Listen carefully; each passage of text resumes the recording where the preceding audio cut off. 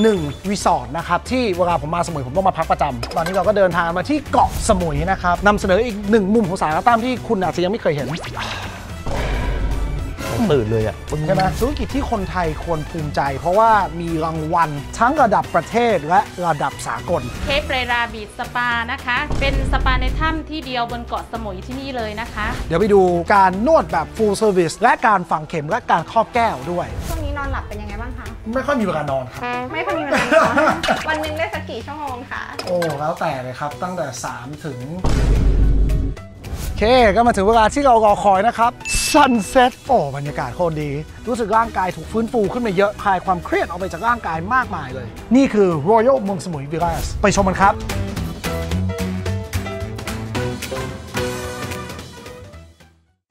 อ่าถึงแล้วโอเคโอ้ยโอ้ยขอบคุณครับ ขอบคุณมากครับ โทษครับน้องครับอ่าขอบคุณมากครับ เคสารตั้มสวัสดีครับนี่เชฟโจ้สวัสดีครับอ่าโอเคนะครับ ตอนนี้เราก็เดินทางมาที่เกาะสมุยนะครับ ซึ่งผมเราก็จะเตรียมมาตกปลาอะเหมือนเดิมนะครับถ่ายคนของรถ แต่ว่าตามที่เคยสัญญาไว้เนี่ยในช่องสาระตั้มเนี่ยอยากนำเสนออีกหนึ่งมุมของสาระตั้มที่คุณอาจจะยังไม่เคยเห็น วันนี้เรามาแบบเป็นคอนเทนต์การพักผ่อนหรือ luxury มากแล้วกันนะครับอ่าก็เลยวันนี้อยากพามาชม1รีสอร์ทนะครับที่เวลาผมมาสมุยผมต้องมาพักประจำนะส่วนหนึ่งก็เป็นรีสอร์ทของน้องรักผมด้วยนะครับอ่าเป็นเพื่อนสนิทกันแต่นอกเหนือจากนั้นเนี่ยเป็นรีสอร์ทที่เรียกว่ามีรางวัลโด่งดังระดับโลกนะครับเก็บความเป็นไทยได้สูง มีความเขียวชอุ่มอยู่กับธรรมชาติตามความชอบผม แต่ที่ชอบไปกว่านั้นเนี่ยเดี๋ยวเราเตรียมลงเรือใช่ไหมเราไปอยู่กลางทะเลสามวันสองคืน ใช้ร่างกายหนักแน่นอน โอกาสที่จะบาดเจ็บ หรือว่ากล้ามเนื้อมีปัญหาเนี่ยสูง ที่นี่เนี่ยนอกจากเป็นโรงแรม 5 ดาว full service ห้องสวยหรูแล้วเนี่ยเขายังมีบริการสปาที่มีรางวัลระดับโลกและนอกเหนือจากนั้นเนี่ยยังมีบริการเซอร์วิสฝังเข็มและครอบแก้วแบบเรียกว่าเป็นแผนแพทย์ทางเลือกด้วย ครบองค์จริง ๆ จะเป็นยังไงไปชมกันครับ นี่คือ Royal มืองสมุนบิราส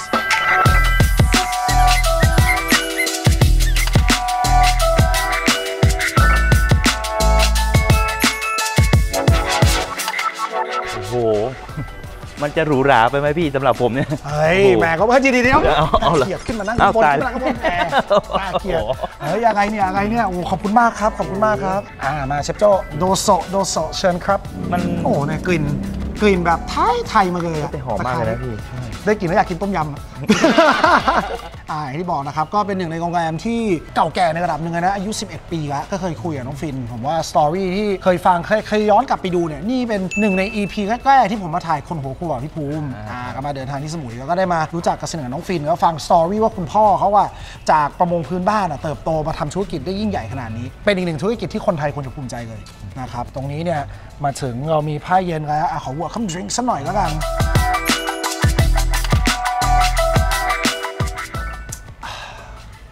อ้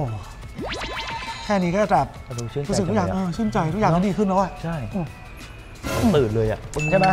แหมนี่ทำอาหารที่ร้านใครจินเสร็จประมาณสามทุ่ม ครับเก็บครัวสี่ทุ่มกว่า ขับครับรถมาถึงนี่กี่โมง มาถึงท่าเรือตอนลงเรือ 9 โมง มาถึงนี่ประมาณ 11 โมง เราเพิ่งกำลังจะได้นอน งั้นเอางี้ครับเดี๋ยวไม่เป็นไร เดี๋ยวตอนเรียกว่าเดินพาชมโรงแรมเนี่ยกับตอนเดี๋ยว พอดีพี่เองนัดทั้งนวดสปา full service แล้วก็ฝังเข็มไว้ด้วย แต่ผมว่าเชฟโจ้ตอนเนี้ยน่าจะอยากนอนมากกว่าเลยเดี๋ยวให้เชฟโจ้ไปเก็บของแล้วนอนก่อนแล้วกัน เอาเอาผมไม่ต้อง เอาเหรอ เอาผมนอนก็ได้ถ้างั้นไม่กลัวเข็มเหรอกลัวมาก นั่นไงก็จะก็จะบ่น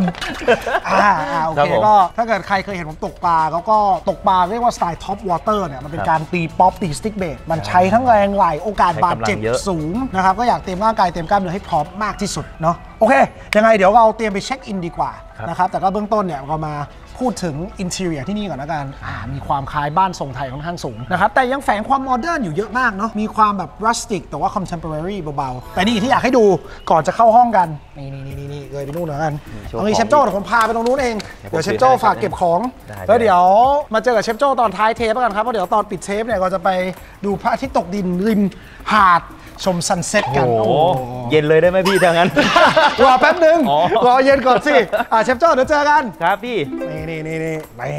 เนี่ยนะครับ อย่างที่บอกไว้ธุรกิจที่คนไทยควรภูมิใจ เพราะว่ามีรางวัลหลากหลายทั้งระดับประเทศและระดับสากล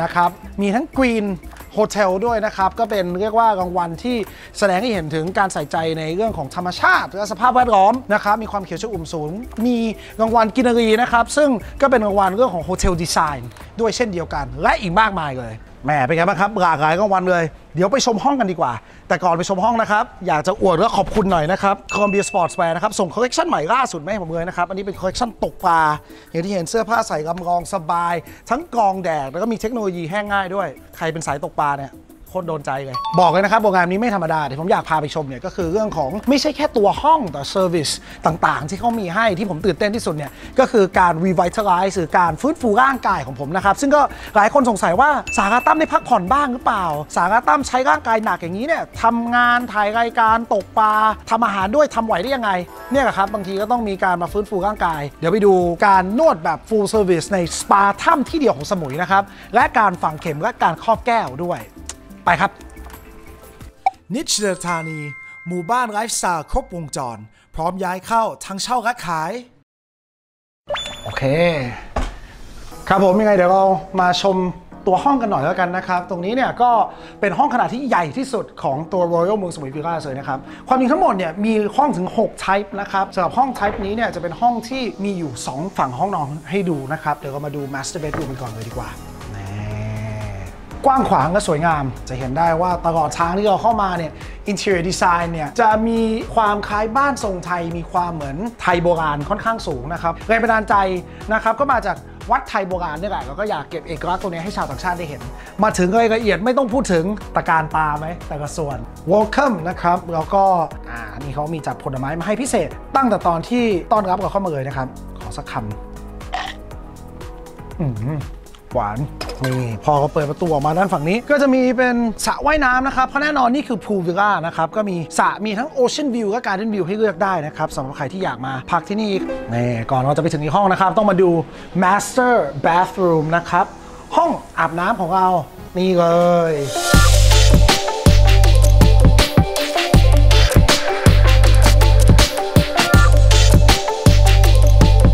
shower แน่นอนนะครับ เปิดจากฝั่งนี้เป็น rain shower อย่างนี้นะครับ แล้วก็แน่นอนอันนี้เป็นจัก u ซี่นะครับอ่างอาบน้ำที่สามารถปรับว่าจะมี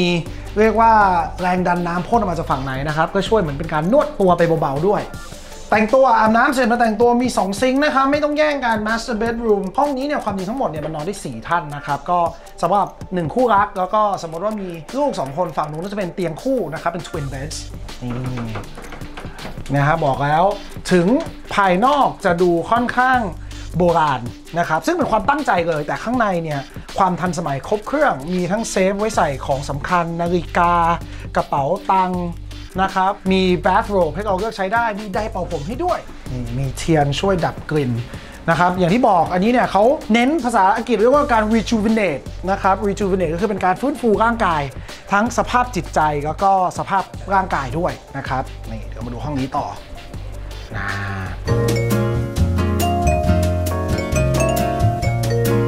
สองเตียงคู่นะครับอย่างที่บอกถ้าว่าห้องนี้เนี่ยสำหรับ 4 ท่านมาเป็นครอบครัว ถ้าเกิดพ่อแม่กับลูก2เนี่ยก็พอดีเลยนะครับโอเคกลับมาตรงกลางนะครับก็จะเป็นเรียกว่า living room quarter ของเรานะครับ ก็ตรงนี้เนี่ย อุ่นอาหารน้อยๆ หรือว่าจะใช้ตัวเตา induction stove เนี่ยอุ่นอะไรทานเล่น จะล้างของล้างอะไรก็สามารถเลยนะครับ แล้วก็มีตู้เย็นขนาดใหญ่ ซึ่งเราใส่ของได้จริง ไม่ใช่เอามาถึงใส่มินิบาร์อย่างเดียวนะครับ ก็ถือว่าเป็นพื้นที่ที่นั่งชิลนั่งเล่นได้สบายๆเลย ตรงนี้ก็เป็นโซฟาพักผ่อนของเรามีเหมือนเป็นที่นั่งแนวชายหาดนะครับแล้วก็มีโซฟาน้อยๆให้เรานั่งพักผ่อนย่อนใจบวกไปแล้ว โอเค ก็ประมาณนี้นะครับทัวร์สั้นๆของ1 type ของห้องที่นี่นะครับไอที่บอกคือมีทั้งหมดที่เรียก6 type เลยนะครับเริ่มต้นเนี่ยเป็นขนาดจะมาท่านเดียวหรือ2ท่านก็ได้ แล้วก็สามารถเพิ่มมาถึงห้องหนึ่งเนี่ยนอนได้เต็มที่ถึง 4 ท่านนั่นเองนะครับน่ะแล้วน่าเสียดายจริงๆว่าพรุ่งนี้ผมต้องออกทะเลตั้งแต่เช้านะครับแต่สำหรับใครที่เป็นสาย breakfast เนี่ยต้องบอกเพิ่มว่าที่นี่เนี่ยเขามีบริการ floating breakfast ส่วนตัวให้ในพูวิลล่าของเราตรงนี้เลยก็สำหรับใครที่อยากมาถ่ายรูปทานอาหารเช้าในสระว่ายน้ำเนี่ยผมเห็นหลายคนทำเราได้ยอดวิวในโซเชียลมีเดียค่อนข้างเยอะเลยนะครับ ก็มาลองดู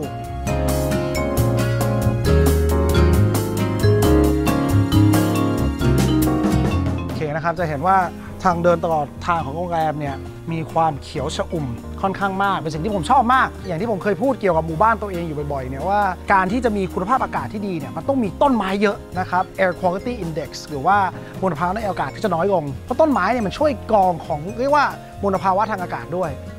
ขียวชอุ่มมากเอากับผมไปกู้มาเพิ่มแล้วนะครับว่าที่โรงแรมนี้เขาได้รางวัล Green Hotel ระดับทองนะครับจากกรมส่งเสริมสิ่งแวดล้อมด้วย เรียกว่าเพราะใส่ใจทั้งสิ่งแวดล้อมแล้วก็ให้ความสำคัญกับความเขียวชอุ่มความธรรมชาติค่อนข้างสูงชอบมากชอบมาก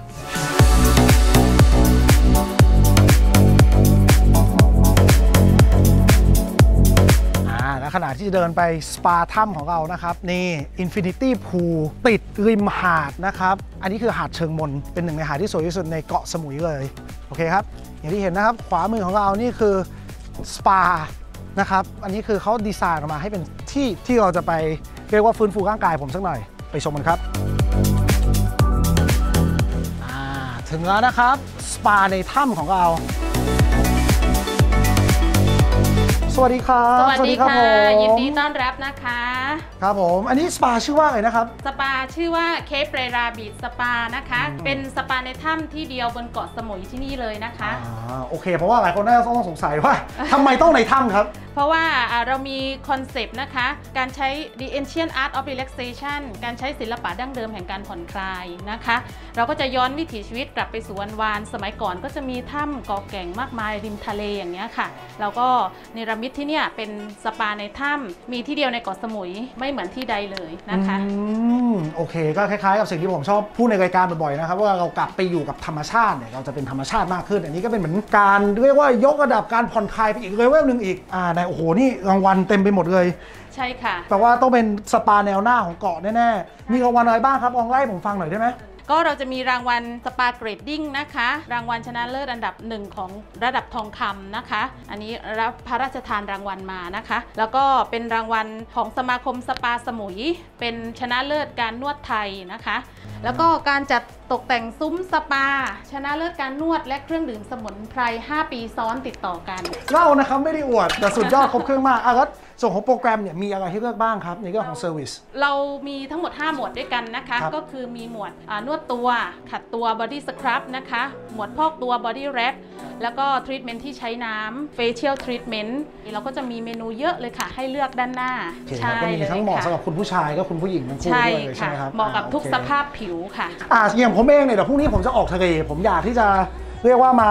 คลายกล้ามเนื้อหน่อยนะครับเพราะเดี๋ยวจะต้องใช้กล้ามเนื้อค่อนข้างหนักคิดว่าสุภาพบุรุษอย่างผมเนี่ยไม่ได้เน้นเรื่องทรีทเมนต์เพื่อความสวยงามเท่าไหร่น่าจะเหมาะกับแพ็กเกจไหนครับ คิดว่าน่าจะเป็นแพ็กเกจสัก 2 ชั่วโมงนะคะ อ่าก็จะครับเป็นการเน้น balancing ปรับสมดุลร่างกายนะคะ เน้นการนวดหลังคอไหล่ เน้นการผ่อนคลายกล้ามเนื้อ เราจะนวดเหมือนการนวดไทยเลยค่ะ อ่าแล้วหลังจากนั้นดีครับ ก็ลงน้ำมันใช่ แล้วเดี๋ยวจบตรงนี้เนี่ยเห็น ที่โรงแรมเองก็มีเรียกว่าแผนอ่าแพทย์ทางเลือกด้วยใช่ไหมครับที่ผมสามารถไปฝังเข็มใช่ค่ะอันนั้นก็น่าจะช่วยเรื่องกล้ามเนื้อได้อีกส่วนได้หนึงด้เลวยยใช่ไหมค่ะมีทั้งฝังเข็มแล้วก็ครอบแก้วเลยค่ะอ่าก็คือทรีทเมนต์แพทย์แผนจีนแบบ full option ค่ะต้องบอกว่าโรงแรมนี่ครบจริง ๆสำหรับใครที่อยากหนีมาฟื้นฟูร่างกายเนี่ย ไม่ใช่แค่มานั่งดูทะเลเพื่อทำให้จิตใจเราเบาเบาบางลงนะครับ แต่ว่าได้มาดูแลทั้งสภาพกายในทุกทุกองศาเลยนะครับไปงั้นเดี๋ยวผมขอตัวไป เข้านวดก่อนแล้วกันนะครับ ขอบคุณครับ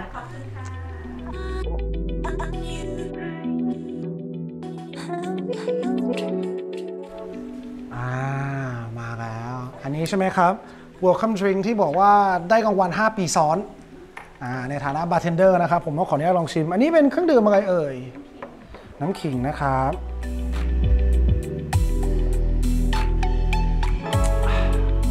อ่าแล้วก่อนเข้าไปนวดนี่ต้องเลือกตรงนี้ใช่ไหมครับใช่อ่าค่ะของเราจะมีน้ำมันสีกลิ่นนะคะ จะเป็น Energy Relax คำแล้วก็โคโคนัทอหอมมากกินเหมือนขนมเลยอะเหมือนของกินอะได้กลิ่นแล้วแบบรู้สึกใจเย็นลงเยอะเลย รู้สึกความร้อนในร่างกายมันค่อยๆออกมาหมดเลยครับแค่ไปดีกว่าครับนะ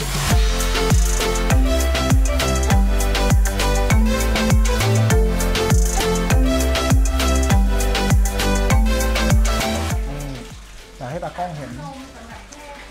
นี่มีน้ำนมให้อาบด้วย ผมว่าใครชอบถ่ายคอนเทนต์ลง Facebook ลง IG เนี่ยมานั่งตรงนี้เนี่ยยอดไลค์นี่พุ่งแน่ โอเค เดี๋ยวเราเริ่มเลยดีกว่า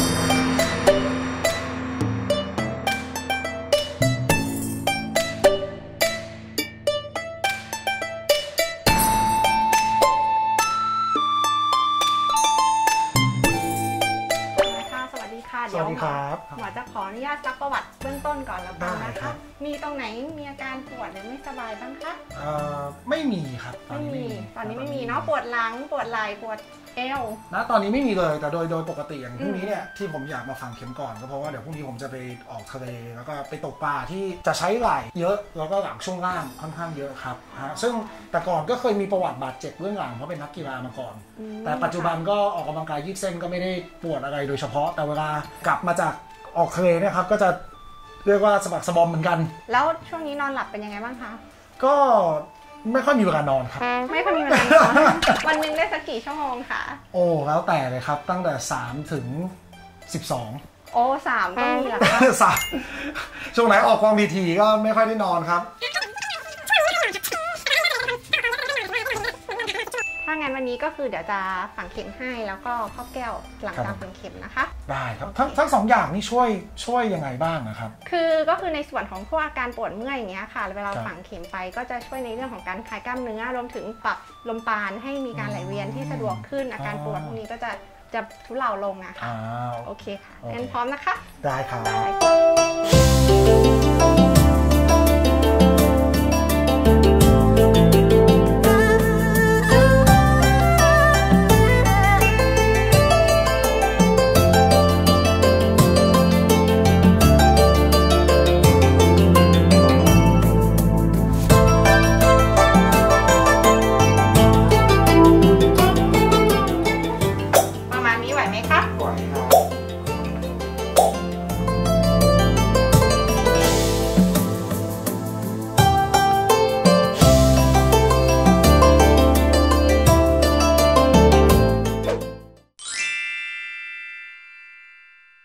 เคก็มาถึงเวลาที่เรารอคอยนะครับ Sunset พระอาทิตย์ตกดิน โอ้บรรยากาศโคตรดี อ้าว มีคนมารออยู่แล้ว สวัสดีครับเชฟโจสวัสดีครับผม โอ้รู้ใจเอาอูคูเลเล่คู่ใจผมมาด้วย ก็ดีใจที่เห็นสมุยกลับมา ครับ รอบที่แล้วที่เรามาเนี่ยเดี๋ยวย้อนฟุตให้ดูก็ได้ในเทปอ่าที่เรามาดำยิงปลาตอนกลางคืนกับน้องฟินเนี่ย อ่าก็ตอนนั้นเงียบเหงามากเพราะสถานการณ์ใช่ไหมครับ ตอนนี้เนี่ยทุกอย่างก็เริ่มฟื้นฟู ต้องบอกว่าที่หาดมีทั้งดนตรีสดนะครับ แล้วก็ที่ Royal เมืองสมุยวิลล่าเองเนี่ยก็มีกิจกรรมจะมีเรียกว่าอีเวนต์ต่างๆ ที่เปลี่ยนไปอ่าก็จะมีโปรโมชั่นด้วย มีเป็นการ จัด setting ต่างๆ ที่ไม่เหมือนเดิมนะครับ อันนี้ก็สามารถ request ได้ด้วยอย่างนี้คือผมกับเชฟโจก็จองเป็นเหมือนซุ้มนะครับได้ซุ้มมาได้นั่งดื่ม chill ริมหาดได้นะครับอ่าก็สามารถเรียกว่าบอกทางโรงแรมเปิดซุ้มก็มาร่วมกิจกรรมโปรโมชั่นครับต่างๆ วันนี้ก็ซึ่งจะเป็น seafood barbecue night มั้งอ่าแล้วเครื่องดื่มอะเครื่องดื่มอะโอ้ยไม่ต้องห่วงพี่เรื่องเครื่องดื่มจัดการสั่งเรียบร้อยแล้วครับพี่เนี่ยทีมงานคุณภาพ มาแล้เครื่วองดื่มเย็นๆอะเอากระเป๋ากบก่อน นะครับ ตรงนี้ก็สามารถนั่งสั่งอาหารทานได้ทั้งอาหารนี่แฮปปี้นิ่งเรื่อยๆนะแต่ละโรงแรมก็จะมีกิจกรรมแตกต่างกัน ผมว่าทั้งเกาะก็มีอะไรให้เที่ยวเยอะ ใครเป็นสายแอดเวนเจอร์ตกปลาอย่างเราเนี่ยอ่าในช่องคนหัวรถเนี่ยก็เดี๋ยวมีที่เราจะไปตุยตกปลากลางอ่าวไทยกันด้วยนะครับ แต่ว่าถ้าเกิดใครเป็นสายแบบลักชัวรี่ท่องเที่ยวแค่มาพักผ่อนที่โรงแรมเนี่ยโอ้วันนี้ผมว่าผมเองได้ฝังเข็มได้นวดสปา รู้สึกร่างกายถูกฟื้นฟูขึ้นมาเยอะคลายความเครียดออกไปจากร่างกายมากมายเลยนะครับส่วนเชฟโจ้ก็เป็นไงได้นอนเตียงรู้สึกแบบ สดชื่นขึ้นเยอะดีใจเลยที่ได้นอนมากครับฝากกันหน่อยไหมในฐานะคนใต้ความจริงวันนี้เนี่ยเดี๋ยวน้องฟินนะครับเจ้าของโรงแรมจะมาแจมเราแต่ว่าน่าจะไม่ทันพระอาทิตย์ตกดิน ก็เลยเดี๋ยวน่าจะเห็นคืนนี้เนี่ยจะเป็น EP ต่อไปเขาจะพาเราไปกินมื้อดึกนะครับปกติเราดื่มชิวๆกันแล้วตอนดึกๆก็ชอบหิวข้าวแล้วที่สำคัญนะครับเวลามาในแต่ละที่อะผมกับเชฟโจชอบไปหาว่า คนท้องถิ่นแท้ๆอะเขากินอะไรกันใช่ครับอ่าก็เลยจะไปร้านรับของน้องฟินเขานะครับเรียกว่าร้านรับชาวสมุยแต้แต้ๆ ได้ปะเดี๋ยวเดี๋ยวแต่แต่นี่มันภาคเหนือนะพี่เอาเหรอถูกภาคใช่ใช่ใช่ใช่ครับอ่าก็ในฐานะคนใต้เหมือนกันเชฟโจ้ฝากชวนคนไทยมาเที่ยวเกาะสมุยหน่อยไหมไม่รู้ว่าจะชวนยังไงนะพี่ ผมเชื่อว่าคนไทยเรารู้จักสมุยดีอยู่แล้วพี่ แต่อืมในฐานะของผมเองก็คนสุราษฎร์เหมือนกันอืมจังหวัดบ้านเกิดก็จริงๆ แล้วมันมีที่เที่ยวแบบที่จะชอบแบบ private adventure หรือจะชิลๆเรามีให้คัดสรรเยอะแยะมากมาย อันเนี้ยครับผมลองศึกษาข้อมูลแล้วมาเที่ยวลองศึกษาดูครับมี อะไรให้แบบเราตื่นตาตื่นใจเยอะ เนาะใช่ไหมครับ ใช่ผมว่ากิจกรรมความจริงเกาะสมุยเป็นจุดที่ลงตัวคือเดินทางมาไม่ได้ยากเกินไปบินใช่เครื่องบินตรงมาก็ได้ มีสิ่งอำนวยความสะดวกครบเครื่องใครใช่ไม่ใช่สายแอดเวนเจอร์สายแบบอยากลักชูรี่หรืออยากผ่อนคลายกับธรรมชาติมีหลายระดับราคาให้เลือก ผมว่า Royal เมืองสมุยวิลล่าเนี่ยก็เป็นทางออกที่ดีครับหนึ่งผม ทางสำหรับใครที่อยากมาแบบส่วนตัว มีความธธรรมชาติ ความคลาสสิก แต่ว่าก็มีความทันสมัยครบเครื่องครับผมครบวงจรนะครับแล้วก็ได้ฟื้นฟูร่างกายแบบที่ผมได้ทำไปในวันนี้นะครับโอเค ก็ถือว่าเป็นรีวิวสายเลือกแบบเหลี่ยมเบาๆก็กันเนาะวันนี้ได้มารู้จักกับโรงแรมคุณภาพของมาประเทศไทยแบบนี้เนาะก็อะเอาเป็นว่าผมว่าประเทศไทยนะครับสำหรับผมสวยไม่แพ้ชาติใดในโลกไปมาทั่วโลกก็ยังรู้สึกติดใจประเทศไทยอยู่หลายๆที่มาก ๆเลยนะครับ ครับผม ก็ไม่มีโอกาสออกต่างประเทศมาเที่ยวเกาะสมุยมาช่วยอุดหนุนคนไทยกันเองไปก่อนนะครับโอเคยังไงพวกเราขอตัวแค่นี้ก่อนนะกันว่าอยากเห็น content แบบไหน อยากให้สาระตั้มลองไปทำรีวิว อันนี้ช่วงนี้ก็มาสายรีวิวเยอะขึ้นนะครับผมอ่าก็ไม่ใช่ adventure ตกปลาอย่างเดียวละอยากทำอะไรที่แบบกลุ่มคนอื่น นอกจากนักตกปลาดูบ้างนะครับ ใครดูช่องก็อย่าลืมกด subscribe ให้เราด้วยนะครับ อย่าลืมกดแชร์ กดไลค์ทุกกำลังใจสำคัญพยายามอ่านคอมเมนครัต์บเสผมมอนะครับอ่าเดี๋ยวขึ้น พื้นที่สื่อของเราสองคนมากันแค่เนี้ยวันเนี้ยเนอะโอเค อ่าเดี๋ยวก็ขึ้นคอนแทคกระแทกซ้ำอีกรอบนะครับ กับ Royal เมืองสมุยวิลล่าหนึ่งในเรียกว่าโรงแรม Luxury เบอร์ต้นๆ ของประเทศแน่นอนครับผมนะครับอ่าก็ต้องขอบคุณทางโรงแรมด้วยที่อำนวยความสะดวกให้เราได้ถ่ายทำรายการวันนี้เนาะโอเคครับผมก็เดี๋ยวเราขอตัวไปพักผ่อนพรุ่งนี้ออกทะเลกันแล้วเดี๋ยวเจอกันสัปดาห์ต่อไปเนาะสาวต้อมสวัสดีครับฟู้เอามาครับ Cheers cheers